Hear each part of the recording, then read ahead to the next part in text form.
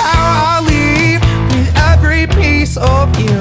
Don't underestimate the things that I will do. Cause there's a fire starting in my heart, reaching a fever pitch and it's bringing me out the dark.